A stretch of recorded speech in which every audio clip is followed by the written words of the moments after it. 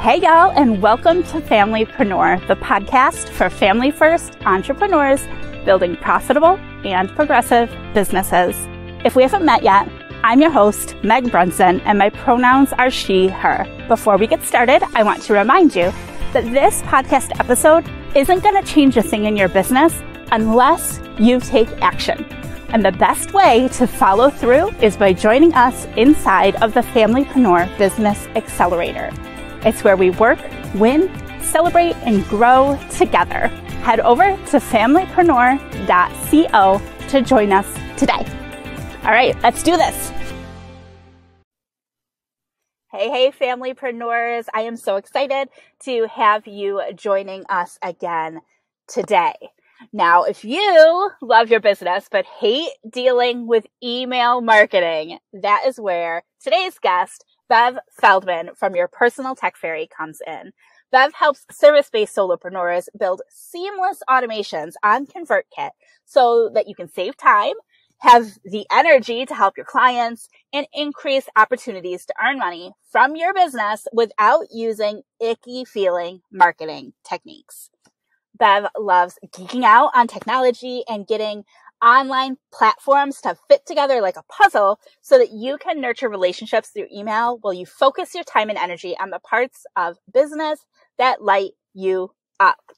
I love it so much, and I'm so excited to have you with us here today, Bev. I am so excited to be here, Meg. I want to start with a question because you mentioned ConvertKit. So I know that's your platform of choice. As we're talking today, if you're not using ConvertKit, are you going to be able to benefit from this episode? Absolutely. So, I mean, there are a lot of what I talk about can be applied to pretty much any email marketing platform, especially if they allow you to set up um, automations, which I would say most of them in some way or other do. Sure, sure. Now, can you let's start with talking a little bit about ConvertKit. Why is that the platform that you chose? Yeah. So it's funny because I have been, since I started this business and I really honed in on ConvertKit, I've been asked this a lot. And for the longest time, I actually didn't have a very good answer other than, well, it's the one I started using a few years ago after seeing a lot of other bloggers at the time talking about it.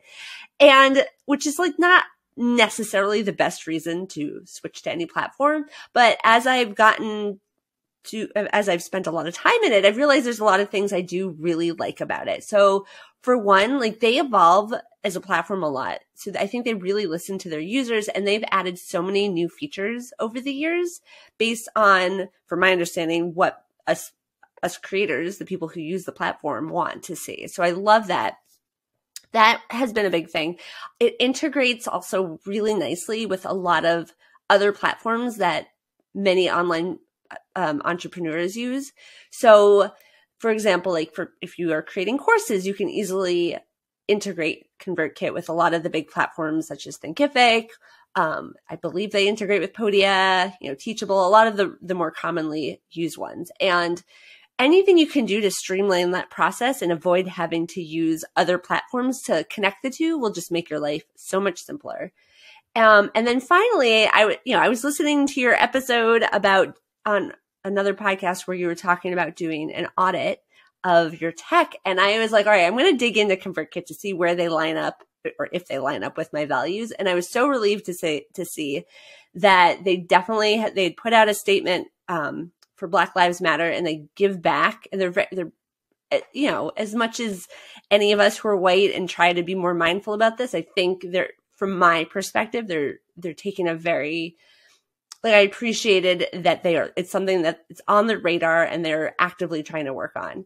So that was another thing that just made me feel good. So that was more recent. It's not why I joined ConvertKit, but I was very relieved to see that. Yeah, and those are reasons why you stayed. Like sometimes that's just the way it is. You you stumble into something and you're using it because it's what you know, but then you stay because of those things. And anyone yeah. who's interested, that episode you're talking about, um, that is the money marketing and mission show with Mia Francis Poulin. And I believe it was episode number three, um, where we talked about doing that audit. Just if anyone wants to listen to that as well. Thanks for bringing that yeah. up. Oh, of course. Well, I just thought it was such a brilliant idea. And I was like, oh, I should check all of the tech to make sure it lines up, not just with that value, but for me as someone who really cares about, you know, environmental sustainability, making sure that I'm using platforms that hopefully aren't doing, I mean, it's hard being in tech and it, you know, obviously it uses a lot of energy to run any of these platforms, but at least I, I, it gives me kind of a starting point to talk to the platforms to maybe at least get them thinking about these things. Yeah. And the, the whole with my tech audit, like the piece that if you're not familiar with it, basically I'm looking at where I'm already spending money in my business and determining if that aligns with my values. Like I might not mm-hmm. be able to make, you know, million dollar contributions to causes and things like that, right? Cause I'm, I'm a little guy, um, in the world, but because my money is going towards big companies to buy things that I need for my business, um, if they're spending the money in a way that's aligned with my values, it's almost like I'm still giving back in that way. Oh, I 100% agree. And as a business owner, like a small business owner, and I've been a small business owner for many years, I believe it's so important that we also support not only other small business owners, but ones that align with their values. Mm-hmm. And obviously can be really tricky if you realize when you're using does not and then you have to go through all the trouble not only finding a new platform but switching things over. But at the end of the day if like you said if you want to feel like you're contributing in a way that feels in alignment with your values then it's probably worth it even if it kind of is not that fun in the moment. Oh yeah and we talked before this episode i did that. Like i the platform i was using for all my things email landing pages courses like all the things was not aligned. And I had to wait, kind of deal with it for a little bit until the right platform came around, which was FG Funnels. And then I mm-hmm. moved mm-hmm. everything. And it was an, it took a lot of time and a lot of energy and things were a little wonky for a while. Um, but I pay a lot of money monthly for those services mm-hmm. and I want to know that it's supporting the right things. Yeah. All right well, let's shift because I feel like we could talk about the, that stuff forever, but let's shift to talk about email. Um, so well, can you break down like how email automation like fits into our marketing strategy? Yeah, absolutely. So I think if you've been in online business enough, or even just as a, as a consumer, chances are you've seen, you know, an, an opt-in form, sometimes called a lead magnet or a freebie. You know, there's all these different terms floating out there. So we all have ways um, or most of us have ways to capture people's email addresses. And there's a couple things to think about. One, I believe that having an email list is super important because that is your information. So unlike social media, where I do think it's important to have an online presence in that way, that you don't own that information. And unfortunately, a lot of these places can choose to just shut you down. So you want to make sure you have a way to reach out to, to your audience. So the when it comes to automations, there's a couple things. You might not even think about this, but when someone signs up for your email list and they automatically get an email that either, well, says, hi, thanks for signing up, or here's that thing you signed up for. I mean, that's an automation right there. So most of us have done at least some kind of minimal automations when it comes to email marketing. But I like to take it a step further. So for me, one of the biggest things that I think is important is having some sort of welcome sequence or automated email sequence that goes out to new subscribers once they sign up for your list. And that's for a few reasons. One, you know, if you know, most of your people like us are parents with lots going on uh, in our lives and, you know, things happen like pandemics and school shutdowns. so our lives are not always predictable. And you just want to know that no matter what you have going on in your life, that you are reaching out to people when they sign up for your list and, and in a way that doesn't feel like you're manually doing it, but that's happening automatically.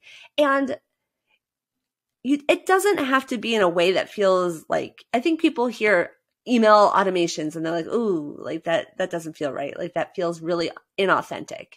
But I like to look at it like if you can set up your emails in a way that feels in alignment with how you want to run your business and how you want to show up in the world. So you can send emails that are genuine and w- built with from the perspective of wanting to create connection, and even inviting people to respond to your emails. Now, obviously, if you choose to respond back to those emails, which I highly recommend you do as much as you can, like obviously you can't automate that process, but it's a nice way to build up that connection. And then from a, you know, a consumer or user perspective, it gives you the opportunity to decide for yourself, is this a good fit? Because you're kind of, you know, you're putting yourself out there a little more, letting them know who you are, and people can decide for themselves, oh yeah, this person really resonates with me, or yeah, they, they're sharing great info, but something about them just doesn't resonate with me. And that's fine too. Like, it's just an opportunity to build that connection a little bit more in a way, I mean, as much as you can through email. yeah. And I feel like you, I like that you touched on that you might turn people off and that that is okay because not everybody's yeah. going to be your people and you want an email list that's all excited about you. Um, so if they're not your people, let them go and find who their people are, you know? Exactly. And just like, you might not be for everyone. You might have people who are interested in working with you that for for whatever reason aren't a right fit for you, and that's fine too. Like we, part of having our own businesses is that we can we should theoretically have the ability and and to the ability and flexibility to make these decisions that feel right to us. Now, would you say would you say that that's like the most important? Like if we don't have automation set up, is that the first thing we should do or is there like something else that's more important than that that's a really great question i would think so my suggestion would be if especially as you're getting things up and running to at the very least do that i would suggest if you already have a bunch of programs or courses any kind of digital something out there that you it's always a good idea to have some sort of automation set up for that and not just okay here's that thing that you signed up for, bye. But like, obviously you wouldn't say that in your email, but like, you know, invite people, remind them. I mean, how many of us have purchased courses and then forgotten about it? Or, oh, I purchased that course and now I don't remember quite what it was called or who I purchased it from and I don't have any way to like find it. But if you get like a couple reminder emails, not in an annoying way, but like, oh, you know, here's like kind of tease out like, oh, this is what what you'll learn in this lesson. And it's like, oh yeah, there's that thing I purchased that I was excited to do and then forgot about, you know. So which, you know, it happens to all of us. Like we should never feel guilty about that cuz so many of us have that happen. So I would think so for my suggestion would be minimum do welcome sequence if you have nothing else, but if you do have some programs, just kind of do a little audit to make sure to see what happens. Like sign up for your course and see what happens because you may have forgotten what happens when people sign up. And that's a good point too. Like sign up with your email and yes. get the emails that you have scheduled for other people to get and then think about whether that's sufficient, right? like if that's enough. Yeah. Yeah. But it's also a good opportunity to check to make sure things are working right. Like I had I was testing something out on my own account and then I so I'm getting my welcome sequence probably for like the seventh time. I'm just using different email addresses. And I'm like, why am I getting this at one in the morning? Like it doesn't make any sense. So it's a good reminder for me to check to make sure I have my settings correct because mm. I shouldn't hmm. be getting it in the middle of the night. Oh, that's a good point. So do you, and I don't feel like and here's where I'm not an email pro, right? But I just set mine to run all the time. You don't do you think that you should set it to only run during business hours? I think it really depends on your business, quite honestly. I made the decision this a few months ago. I decided because I have a very extensive series of emails that goes out. Like I have at this month, at this point, about four and a half months worth of scheduled emails. For, so whenever someone signs up for my list, they're going to get a, a bunch of emails over time. And I made the decision to turn them off on the weekends only because I'm in the business to business space. And I'm like, well, as a business owner, I'm trying to move away from checking my business email on the weekend. And, and that's not to say there's anything wrong if you do. But if I'm trying to, I'm almost trying to like preserve this sense of, oh, we sh- should, you know, the importance of rest.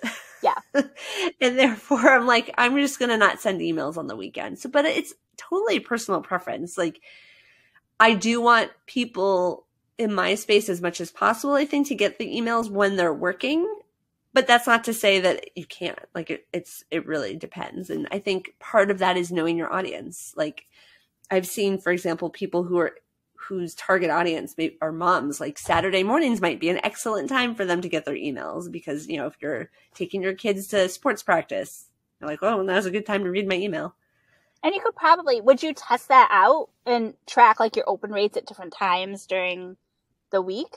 Yeah, I mean, you certainly could. I've never gone, I have to say, I've never gone that in depth with my testing. Like, I do track my open and click through rates, but I'm mostly just then looking at, like, okay, if I tweak this subject line or the, the copy in the body of the email, I haven't. I, I like stats, but not so much to then start tweaking with the times. well, good to know. Good to know. This strategy yeah. is out there. Um, oh, yeah.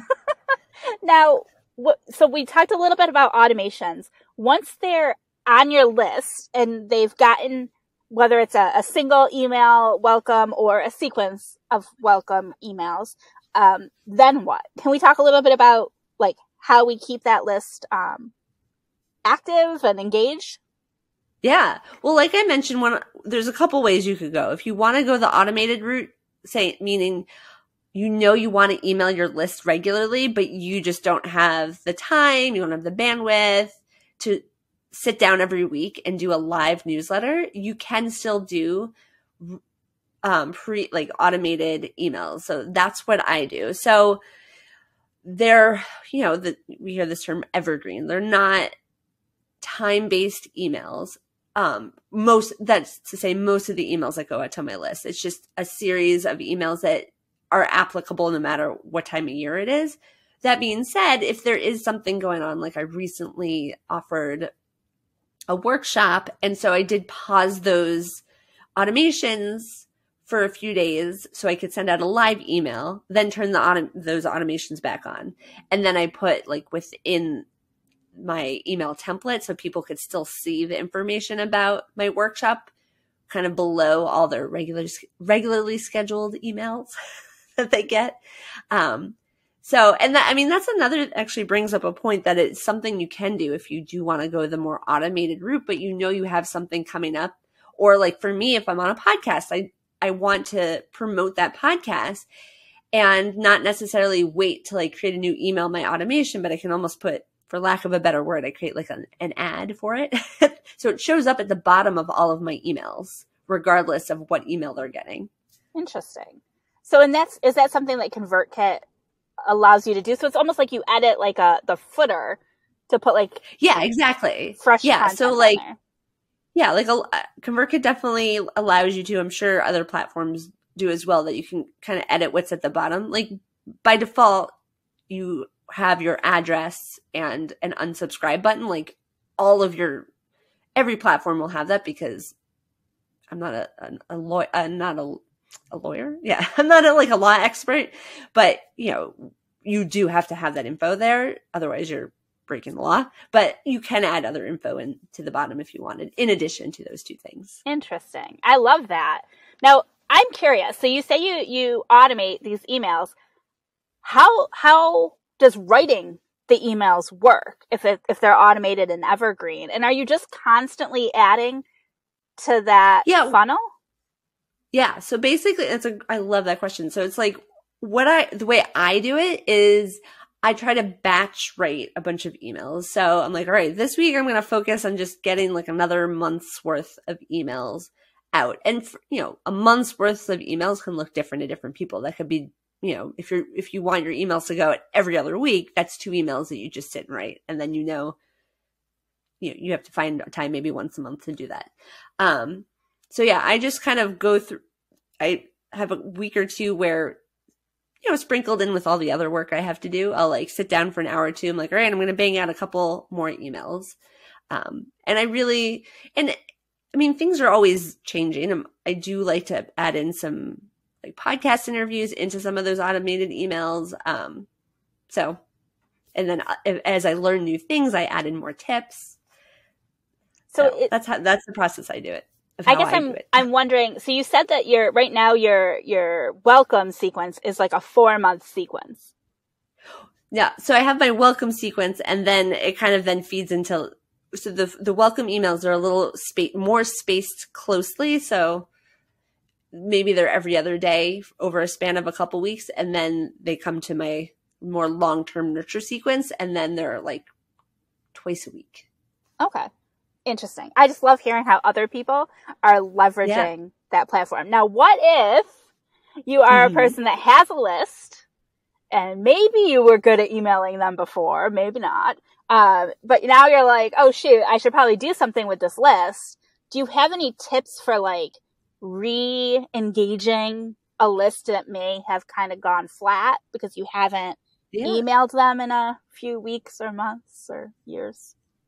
Yeah. I mean, you can kind of go one of two ways. You can say, Hey, it's been a while. Like you can kind of talk about the elephant in the room and call it out. If you want, yeah, you can explain why or you cannot. Like it's totally up to you. Or you can also just email them again, start emailing them and, and not say it. Like it's totally there. I think it's partially, it ha- depends on what your audiences, I would say. I think especially if you're kind of more in the, you know, B2C, the business to consumer space, it might make more sense to share maybe why with in a way that feels comfortable to you. And if you're in the B2B space, it might not make as much sense to do that. But again, it depends on your business and who you're serving. Um, and I think we've all been there where we've gotten an email out of the blue from someone we ha- we may have even forgotten about, and sometimes you go either, "Oh yeah, I remember that person. I'm excited to see them again," or "Who the heck is this? I don't remember signing up for your list. I'm gonna unsubscribe," and that's fine too because I do think it is important to make sure our lists are clean and. And while I personally think there's value in everyone on your list, whether or not they ever buy from you or hire you, I do also at the same time believe it's really important to keep our lists clean because we don't want people on our list who just never engage at all with our emails because that just ends up harming our own deliverability of our emails. And we do want to make sure that people that who do want to hear from us get those emails. And when you say clean you mean the people on your list are actually opening your emails, right? Yeah. So I so I just did this workshop, but it was called a cold subscriber re-engagement campaign, which to me just sounds kind of like the like cold subscriber. Like these are people. They're not like they're not like cold. They're just you know, for whatever reason they're not engaging. So um I, th- I think your most email marketing platforms give you the ability to identify what what they call cold subscribers. So they may define it slightly differently, but it's just people who haven't opened your emails in a certain span of time. And you can, I mean, some people just choose to flat out remove those people. I personally like to send a more targeted email to those people and say, Hey, I know I noticed it's been a while. And because I talk about email marketing and marketing and automation, I also call it out for what it is. I'm like, this, just so you know, you're getting a cold subscriber re-engagement email. And then I kind of mock the term because again, it just sounds so like, bleh. but you know, and I explain why I'm doing it. And I, and then I offer up, if you'd like to stay on here, you know, here's some information. Like here's a three, two or three links that might be of interest or help to you. If you're interested, if you click on one of them, you'll stay on my list. If you've decided, you know, I don't want to, it's not a good fit. I don't want to hear from you anymore, Bev. You're welcome. You can hit un- unsubscribe and I, that's totally cool. Um, so I like to go more that route in a way that feels good to you in terms of how you want to approach it. And like, you want to just be like one email, hey, it's been a while. Got to click on a link if you want to stay here, or it's bye, or if you want to like have more, make it more of a conversation. Sure. And the benefits, I feel like the one benefit to cleaning your list is if you lose some subscribers, you can potentially save yourself some money, right? Exactly. Because when it comes yes. to a lot of these platforms, you pay per subscriber, kind of, right? Like they're like tiers, but yeah, exactly. The more subscribers you have, the more you're paying. So if you mm-hmm. ensure that they're only the most relevant subscribers, you could be saving yourself money.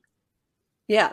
And I've definitely done that when I've noticed like, oh, I'm hitting that threshold where I'm getting to the the next tier. It's that is a really good time to do a to clean up my list. And so you can go either way. You can wait you know, choose to wait until you're about to hit that next payment tier, or you can just do it like on a calendar regularly because, you know, there's the monetary, exp- you know, the way you're hit monetarily if you have people who aren't opening your emails, but then you also have like, if you're, especially if you're a metrics person, like how it impacts like how many people open and how many people click on your, your emails.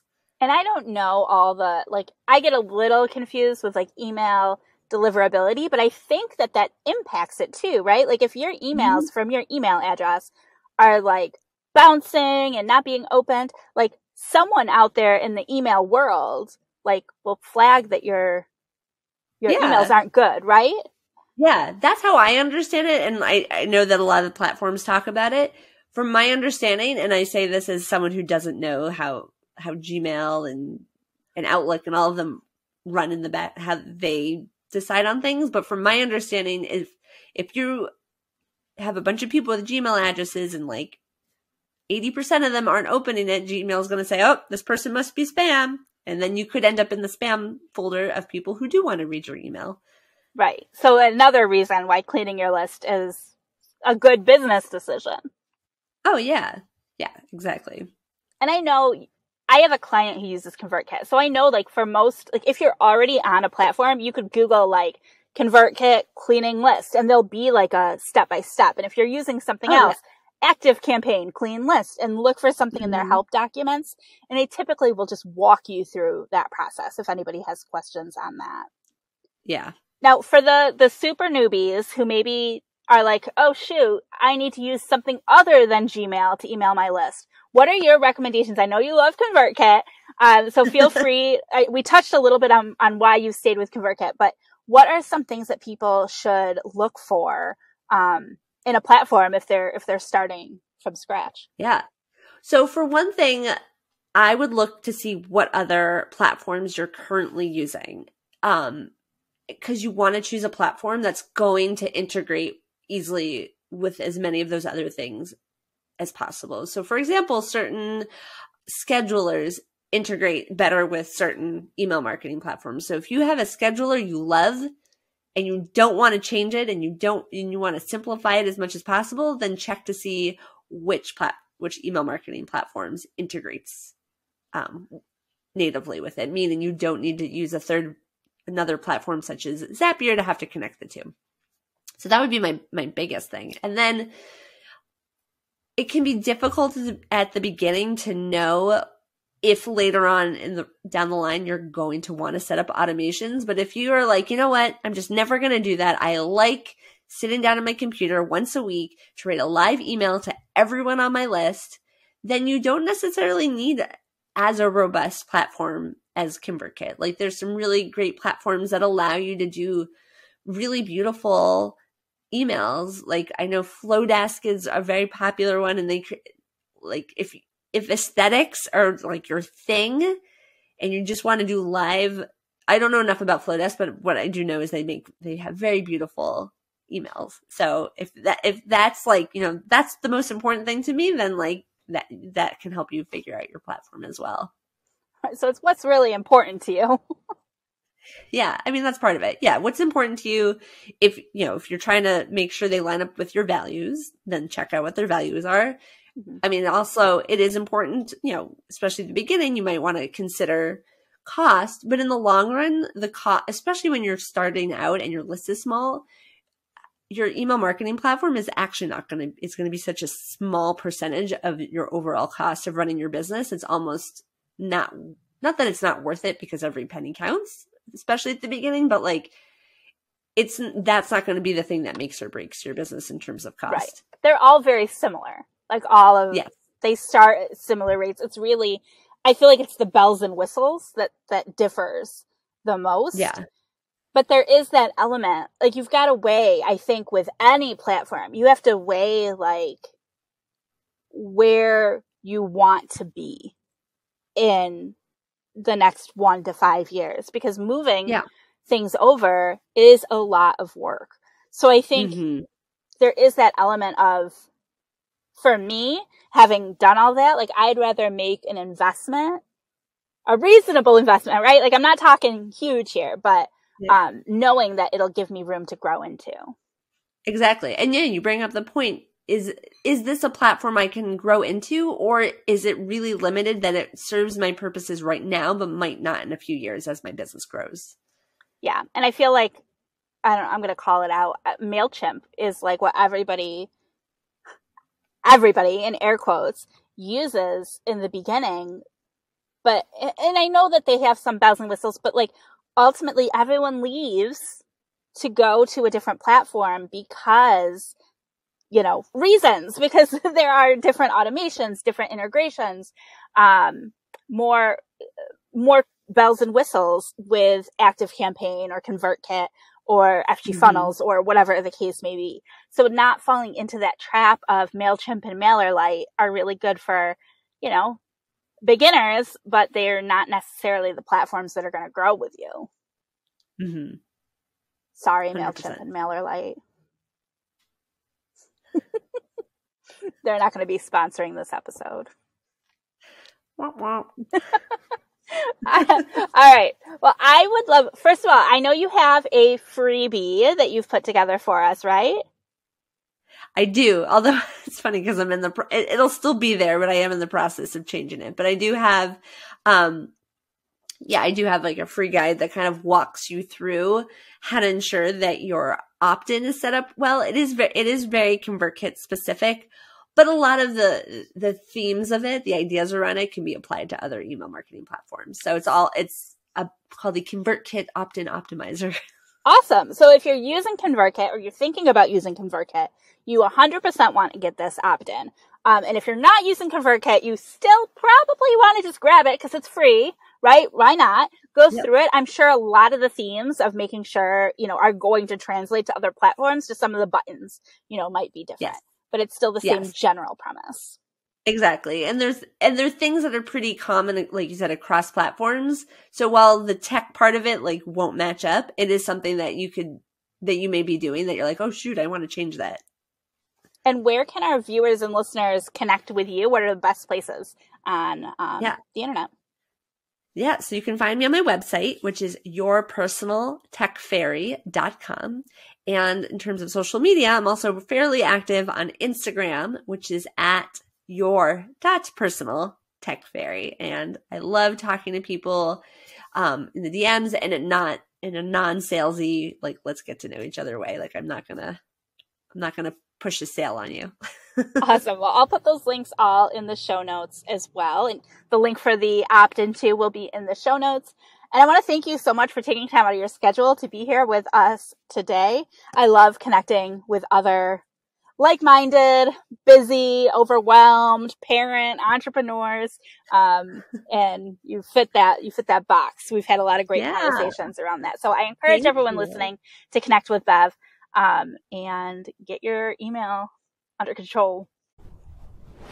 All right, that is it for this episode of Familypreneur. Join us inside of the Familypreneur Business Accelerator to follow through on the action steps from this episode alongside an incredibly supportive community. Plus, access our robust training vault and a variety of exclusive monthly virtual events, including co working, happy hours, and bonus training sessions head over to familypreneur.co and join us today. Until next time, I'll see you over in the Familypreneur Business Accelerator. Bye for now.